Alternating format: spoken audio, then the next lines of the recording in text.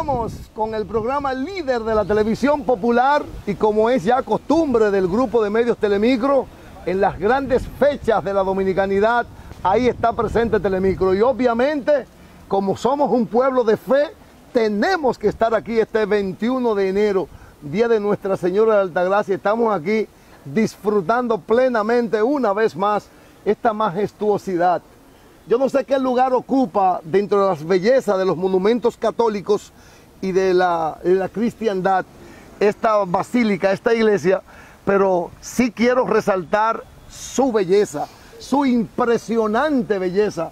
Me dice el distinguido alcalde de esta ciudad que tiene 80 metros desde el, desde el suelo hasta, hasta su cúspide, que caben 3.000 personas impresionante, que duró 17 años su construcción, que la comenzó Rafael Leónidas Trujillo Molina y la terminó Joaquín Balaguer. La historia de esta protectora del pueblo dominicano, de este monumento a la protectora del pueblo dominicano es hermosísimo. Como hermosa es también el escenario donde estamos, que es la parte frontal de la basílica. Yo me siento muy contento, muy feliz Voy a decir por qué. Durante mucho tiempo, yo trabajando en la capital, y, como hacen los dominicanos siempre que hablan de política en cualquier esquina, cuando hablábamos de, de Higüey, siempre aparecía ese nombre, Cholitín, siempre. Rafael Barón Dulú. Rafael Barón Dulú, pero nadie nunca decía así. Quien va a ganar en Higüey es Cholitín quien seguro es el ganador del ayuntamiento de la alcaldía es Cholitín. Y de cuando en vez no era así. Yo le doy la bienvenida formal a este distinguido higüeyano que es el alcalde de la ciudad. Para mí siempre será un honor, un placer. Un placer. Encantado. Junior Trinidad. un placer. Todo perfecto, ¿se siente bien? Excelente, Michael. A mí me gustaría que, Cholitín nos, nos narrara su historia, aunque sea brevemente. Cómo comienza en la política, sus zigzagueos y vaivenes y cómo llega a ser el alcalde de Higüey. Bueno, eh, un placer estar con Un honor, señor. Y un, honor, también que estén en nuestro pueblo, en nuestra provincia, y que te sepa la historia de la basílica también. ¿eh? Sí, sí. Eso es importante. Sí. Eh, que de hecho la arquitectura fue un concurso internacional que se hizo, y que la ganaron dos arquitectos franceses, sí. Y Dupré. Hay uno de ellos que todavía está vivo y es una obra no solo religiosa importante, sino arquitectónicamente hablando también es una obra bien concebida. Eh, escuché las campanas ahorita y, es hermoso. Sí, tiene un campanario, hay campanas de toneladas de, libra ahí que... Oiga, hace unos minutos. Alcalde, se dice también que la, iglesia, esta basílica, está entre la infraestructura más hermosa en todas las Antillas. Sí, yo diría que sí, que de las más bonitas.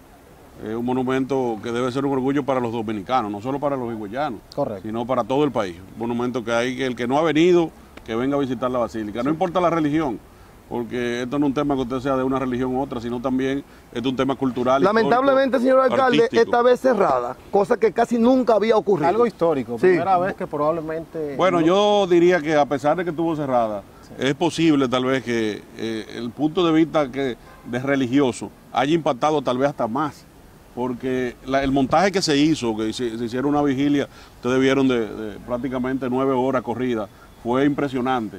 Es decir, lo que vieron la misa en la televisión eh, quedaron maravillados. Es decir, esto es posible que todo tiene su, todo mal tiene algo bueno oculto.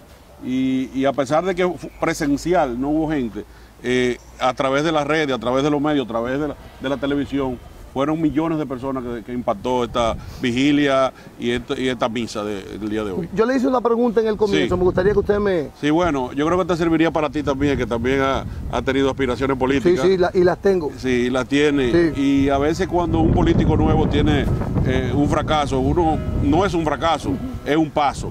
Fíjate que Lincoln fue de los políticos que más perdió elecciones. fíjate, Biden. Biden viene de varios procesos. increíble lo de Biden. Eh, eh, fíjate incluso el presidente Abinader viene de varios procesos. Que yo pienso que es un, paso. Yo recuerdo que el señor Luis Rodolfo Abinader hace un 10, 11 años, en círculos, en peñas políticas y literarias, era impensable en Sí, ese momento sí, sí, que Luis fuera el presidente. Y mira, es presidente y qué bien lo está haciendo. Claro. Entonces, como tú me preguntabas, nosotros tenemos relativamente poco tiempo en la política. Venimos, ingresamos a la política en el 2008, porque antes éramos juez, después renunciamos y tuvimos entonces en el ejercicio privado del derecho. Y en el 2008 que decidimos entrar a política apoyando un movimiento de Leonel. Ahí entonces luego eh, pasamos a ser candidato en el 2010 a senador, pero fue una candidatura muy apresurada porque se había roto la alianza con el Partido Reformista y hubo que buscar un candidato en menos de un mes, un mes y medio. Y ahí fuimos candidatos, tuvimos una votación solamente 1.800 votos de diferencia. Ahí el PLD tenía un solo diputado, ahí tuvimos dos.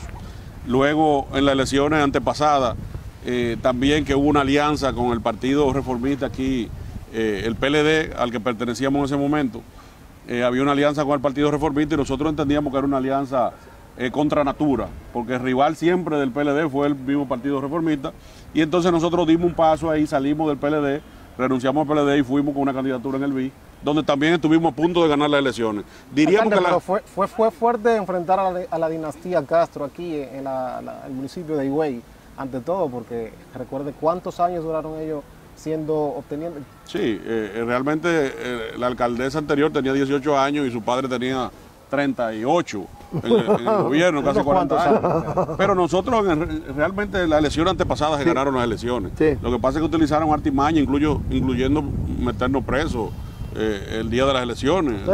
Utilizando incluso el poder del Estado, el poder político, municipal, el Congreso y la policía que estaba de turno haciendo ¿No te quedó un dolor ahí? Bueno, el dolor mío no era por mí, sino por el pueblo. Eh, porque eh, de verdad que Higüey no se le ha dado nunca lo que merece. Higüey es un pueblo que a pesar de que ha crecido tanto, el, que más, ¿verdad? el que más ha crecido del país, sin embargo, las inversiones que se han hecho en Higüey no son tantas.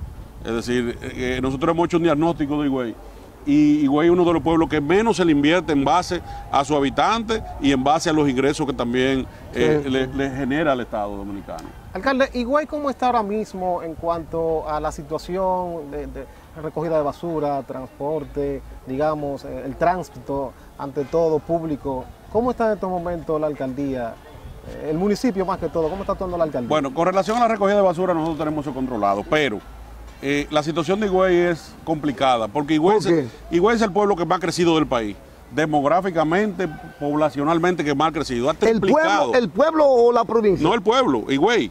Higüey es, es una población de hace 10 años de 200 mil habitantes. Hoy Higüey, Higüey tiene 500 mil habitantes. ¿Cómo? Es decir, ustedes saben que tenemos la zona hotelera. Higüey. Higüey. Ah, ok. Nosotros tenemos la zona hotelera más importante del país, que Sí. tenemos 40 mil habitaciones prácticamente. Sí. Es decir, eh, Bávaro, Punta Cana, pero también Valladolid, que Sí, pertenece a la provincia. Entonces, eso hace que tengamos una población que ha crecido precisamente fruto de, de- de la demanda eh, poblacional por el empleo que generan los hoteles.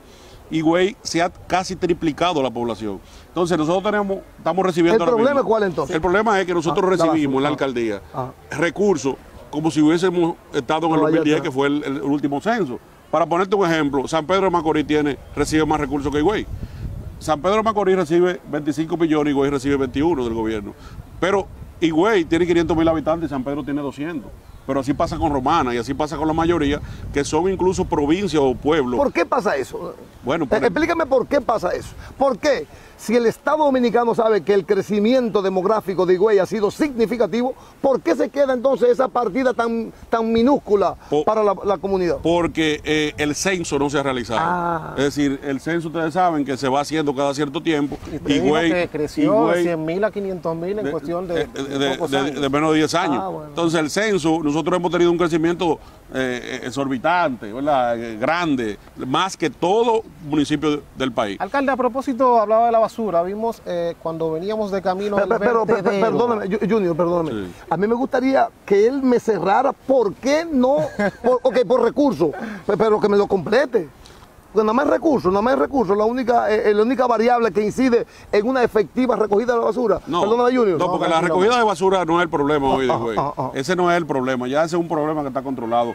Exceptuando el vertedero, que Ah, tenemos un vertedero colapsado. Exacto. Ah, un vertedero que tiene Mareda, más, de un la vertedero que autopista. tiene más de 10 años en un lugar que se hizo un lugar incorrecto. ¿En dónde? Porque se hizo encima Está de los la pozos. de- sí, se hizo en un lugar eh, que no era el correcto, porque ahí está los pozos eh, los pozos de la matilla, la, parte de agua más importante del país, de, donde, del pueblo, donde recibe eh, el 70% del agua de Higüey es de, lo, de, la línea de la matilla, ¿verdad? donde están las aguas subterráneas, y ahí está el vertedero. Pero además de eso es muy pequeño, ya está colapsado y estamos ya prácticamente esperando de medio ambiente que dé algunos permisos para algunos vertederos que se han solicitado para ver si nosotros ya clausuramos ese vertedero y utilizamos otro. Alcalde, una pregunta que no se puede quedar. Ahorita, eh, hace unos minutos hablaba acerca de la situación del turismo, el crecimiento de las habitaciones hoteleras aquí en la zona este del país. Un conflicto que no acaba es el entre taxistas tanto de Uber como de los que ah, trabajan en el aeropuerto. Y esto está a lo que se puede observar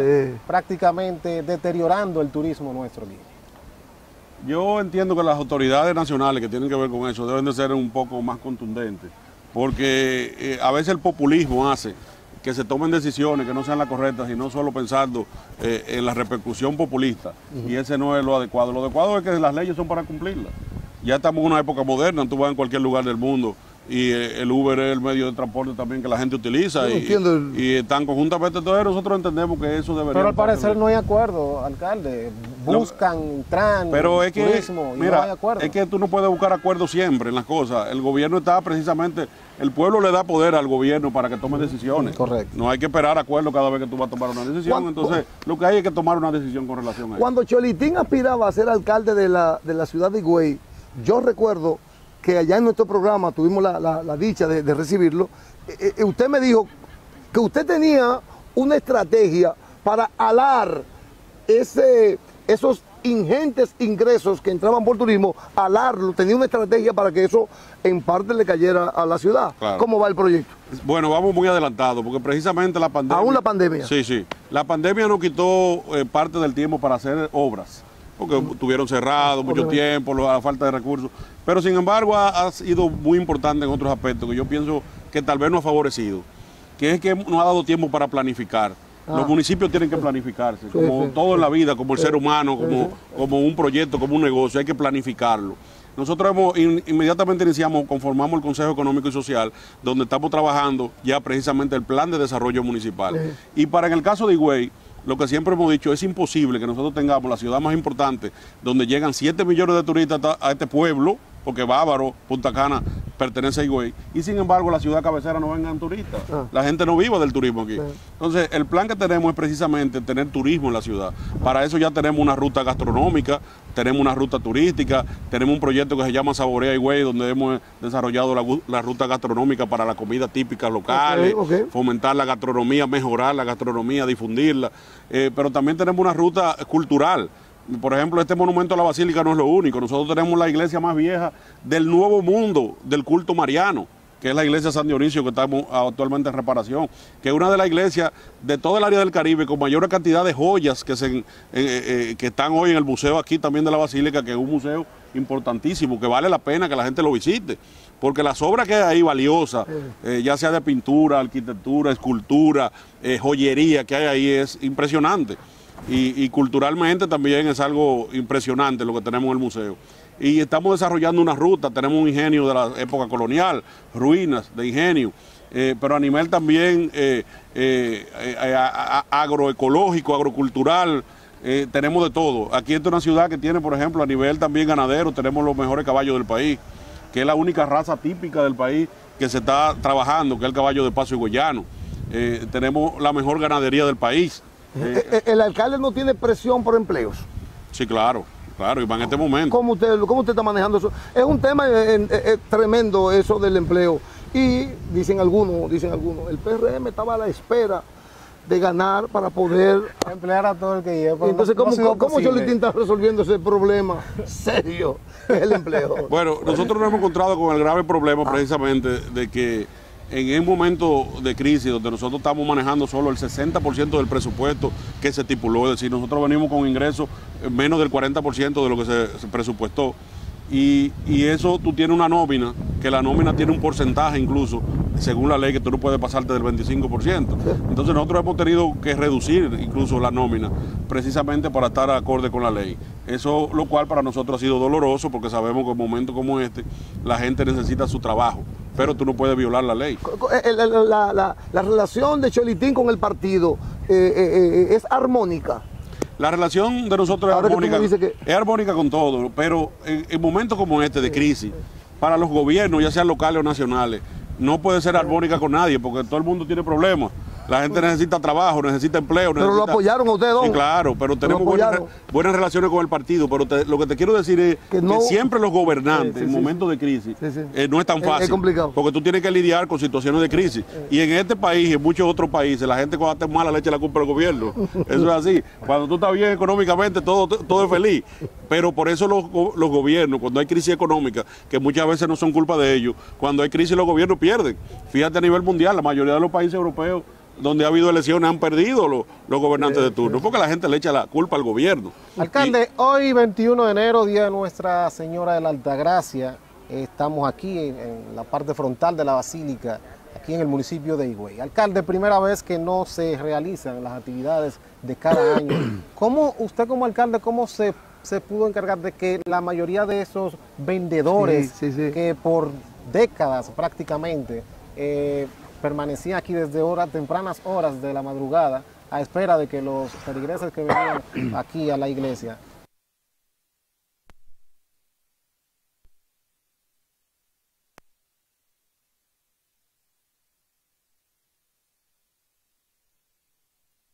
va a haber actividad, si no va a haber peregrinos ni feligreses, entonces a qué van a venir ellos.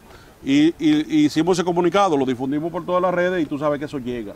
Eh, a muchos les llegó, se dieron cuenta que las fiestas estaban suspendidas. Nosotros eh, comunicamos hace ya más de un mes que las fiestas estaban suspendidas y, y eso a- la gente investiga. Y ya a través de las redes sociales le llegan las A- informaciones. aún así, algunas personas eh, pudimos observar que eh, se han mantenido en las afueras de, de la basílica, en la Sí, calle. Hubo, tratando hubo- de... hubo algunas personas y nosotros eh, estratégicamente lo dejamos porque lo que queríamos era que no vinieran tanto. La aglomeración. en la aglomeración, pero como vinieron poco, lo dejamos porque al final viene mucha gente. No es que no viene gente, hubo mucha gente que vino, Eh, no a la misa, pero vienen a Higüey. Vienen a Higüey porque es una tradición. Y mucha gente vinieron, no lo, lo acostumbrado, pero vinieron todavía más de lo normal. Y, y por eso también ellos han hecho sus ventas. Hay que, hay que saber que estamos en un momento de dificultades y también hay que permitirle de uno u otro a los padres de familia, ¿verdad? Que, que vivan. Una cosa, una cosa es uno ganar, que siempre es bueno, y otra cosa es uno saber gobernar. Que ya en países como este, el asunto se complica un poco, como bien le dice el señor alcalde, porque a veces los recursos no son lo, que, lo, lo suficiente como para resolver lo que tú quieres. A mí me gustaría proyectar, porque hay mucha gente que confía en Cholitín. Hay mucha gente, yo conozco mucha gente que confía en él que apostó a él, que cree que él es la solución de muchos de los problemas. A cuatro años, cuando termine, ¿cómo usted se ve? A esa gente que apuntó a nosotros, tenga la seguridad de que van a volver a apostar. Porque, Ah, porque usted vuelve otra vez. No, pero van a volver a, van a, volver a Junior, no vuelve alcalde. Bueno, es lo normal, es lo normal eh, que ocurra eso. Pero, pero van a volver a apostar porque nosotros estamos confiados y seguros de que lo que estamos haciendo ahora mismo, la organización, el plan que estamos desarrollando, se va a dar, va a dar resultados. Ningún plan da resultado inmediato. Eh, todo en la vida tiene un tiempo. Nosotros encontramos una ciudad desorganizada, sin planificación, y hemos tenido que planificarla. Planificarla completa, ¿eh? planificarla económicamente, planificarla en materia cultural, planificarla en materia deportiva, que somos el pueblo con menos instalaciones deportivas del país, estadísticamente. ¿Cómo? Repíteme eso. El pueblo con menos instalaciones deportivas del país. Sí. Sí. Por- Eso- no han invertido. porque en- no se ha en- invertido, no se ha hecho la gestión. Nosotros en eso hemos estado trabajando con el Ministerio de, de Deporte, eh, ya le hemos llevado las solicitudes, hemos estado trabajando con muchísimas otras cosas también en ese sentido. Ya esto le ha llegado hasta el presidente, de hecho. Una de las canchas de nosotros aquí, la famosa cancha de Sabica, le solicitamos al presidente que nos diera los recursos porque la habían empezado en la gestión anterior y no la terminaron y no habían los recursos para eso. De hecho, nos lo dio, nos dio 7 millones de pesos ¿Ah, extra sí? para terminar la cancha. Es decir, nosotros hemos- estamos trabajando esa parte deportiva muy en lleno, pero también estamos trabajando la parte eh, turística, que es lo que nosotros queremos Sí. aquí, tener turismo en la ciudad. Y eso lo, ya de hecho tenemos un logro importantísimo. Por primera vez, por primera vez en, en la historia del aeropuerto, se va a pasar, en, en el aeropuerto se va a pasar eh, eh, un, un spot donde invitan a venir a la ciudad. Es decir, cuando tú venías por el aeropuerto Punta Cana anteriormente, tú no encontrabas ni un Sí. letrero que dijera Sí. que viniste Alcalde, por cierto, ¿qué ha quedado del aeropuerto? La situación del aeropuerto de Bávaro. La hipótesis de que sí, Sí. de que no. ¿Qué usted ha sabido de eso? Bueno, eh, el- ese aeropuerto todavía, no- a nosotros no nos ha llegado la solicitud todavía de permisología. Ustedes saben que Sí, sí. el ayuntamiento da el permiso Claro. de uso de suelo y todo eso, pero es un tema todavía que está en tribunales, que está todavía en aprobaciones de los organismos estatales correspondientes, y, y- y eso es algo que tiene primero que solucionarse para luego nosotros venir a donde, donde nosotros. Los espacios públicos aquí en, en Higüey, ¿eso está ordenado o aquí hay que trabajar eso? No, eso se está trabajando. Nosotros hemos tenido un gran problema. Mercados, Eh, eh, sí, plazas, para que el turista pueda venir el, el bien. mercado era un desastre. Sí. Ya de hecho, nosotros incluso ahora mismo en estos momentos se está remodelando, pintando, arreglando. Eh, los espacios públicos aquí eran, todo el mundo tenía las aceras ocupadas, se está trabajando en eso. Eh, tenemos pocas áreas verdes. Eh, tanto así que el propio presidente, Luis Abinader, Sí. me dijo a mí en su última visita eh, en campaña, me dijo, he notado que en Higüey hay muy pocos lugares de esparcimiento, pocas áreas ¿Y verdes. eso? Y, y tenemos que hacer un plan con eso. Hay que comparar incluso terreno para hacer de ellos áreas de espacios públicos, áreas verdes. Y en eso estamos trabajando. Tenemos varios proyectos sobre eso, que estamos pidiendo la ayuda del Ministerio de Turismo, que maneja recursos para ese tipo de cosas, y ayuda de la presidencia. Usted sabe que yo, que, que aspiré, fue mi primer pasito, duré mes y medio. Siga, ahí. siga. Sí, yo voy a seguir, yo voy a ¿Y a seguir. usted le fue bien? Le fue Bueno, bien. mi- le un fue partido bien, muy Michael, chiquito, bueno. Sí, pero fue bien, fue bien. Bueno, pero yo me llegó un momento determinado de un sueño. Yo viví en Santiago de Chile, estudié allá, y allá hay una- un mercado que se llama el Mapocho. El mercado del Mapocho, que es el mercado de la ciudad. Sí. Tú no sabes que, eh, distinguido, que al turista que va a Santiago de Chile es una obligatoriedad ir al Mapocho. Le pregunto, digo esto, porque llegó la hora también, casi finalmente, sí, de que, de que una ciudad como Higüey, la gente pueda ir a, a- a- ver esa cultura popular La en cosa un mercado. típica. La cosa típica. La cosa típica. La cosa típica. Sí. Nosotros tenemos tanta cosa propia de Higüey que tenemos hasta un pez único en el mundo. No, ¿cómo se llama? El ciprinodón Higüey. Es un- Ciprinodón. Un pez único en el mundo, ¿eh? En el Sí. mundo. Solamente se da aquí en la laguna de Baba. De buen tamaño. Eh, no es muy grande. Ah, no es muy grande. No, pero Único no. a nivel pero mundial. no- sí, pero no piensen comértelo porque eso está, eh, está en peligro de extinción porque es el único lugar que hay, ¿verdad? Yo como comelón, yo una vez dije, Sí, ¿cómo? ya, ¿Y bro, sabe tú bueno? estás- Tú estás pensando de una vez eh, eh, eh, pecado frito. Bueno, pues... Eh, Alcalde, sí. una preguntita, Ah, Michael, final, sí. espérate, que no puede quedarse la última. Sí.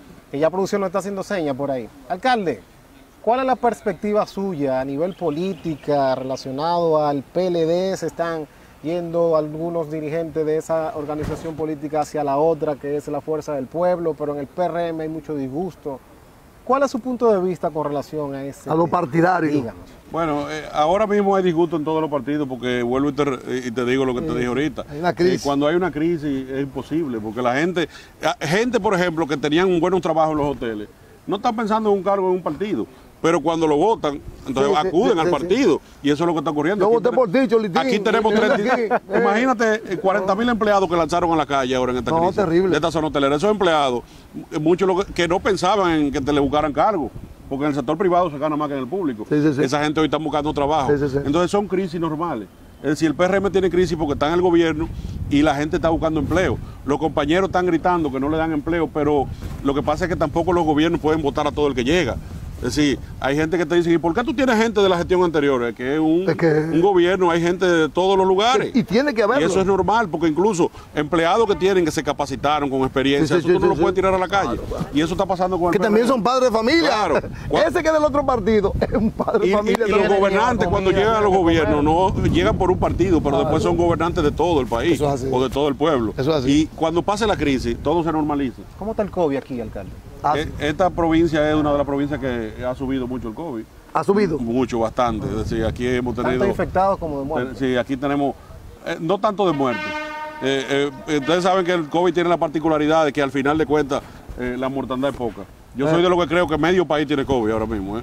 Medio país le dio COVID o tiene COVID. Y, no se dio cuenta. Y no se ha dado cuenta, porque te lo digo porque a veces la gente se hace pruebas y cuando van tú te encuentras con una cantidad enorme de personas que le dio el COVID y no se dieron cuenta. Pero, pero finalmente eh, la estrategia que está usando eh, Salud Pública y, y- y el Estado y el gobierno dominicano aquí eh, está funcionando. O sea, aquí la gente, tú- usted la ve que se pone su mascarilla y, La gente, y se lava la mano. Te puedo decir que lo que más la gente usa es la mascarilla, pero yo soy de lo que creo que la estrategia que se está utilizando, lo- el toque de queda, esa cosa no funciona. Porque entonces tú vas y encuentras los supermercados más llenos de la cuenta. Ah. donde hay mayor entonces contagio. Tú encuentras entonces los bancos más cantidad de gente de la cuenta. Yo pienso que si se abrieran a toda hora la gente fuera menos. Porque al final lo que hay que mantener es el, dista- el El distanciamiento social. y cuidarse. Porque eh, eso es algo que tú lo vamos a tener por mucho tiempo. Señor Bien. alcalde, muchas gracias. Gracias a un ustedes. placer, un placer estar aquí. Lamentamos a conversar con el, con, con- con el señor alcalde debajo del... Lamentamos no, porque el sol también es bueno. No, eso para la vitamina D. Es vitamina D. Eso está bien. Sí, pero si, si lo dejo media hora más. Es Muchas bueno, gracias. es bueno, señor. es bueno. Gracias a ustedes. Listo. Eso es bueno. Continuamos. Michael, antes de Sí, no. al equipo de Ah, la sí. alcaldía que ha brindado el apoyo a todos nosotros aquí, eh, aquí en la Basílica de Higüey al alcalde, eh, Barón Duluc, a usted la gracia ante todo. Y ya saben, Higüey para siempre. Así es. Muchas gracias, señor. Gracias. Listo, continuamos. El contenido del líder absoluto de la televisión popular siempre es interesante. En las manos Telemicro, la mejor televisión.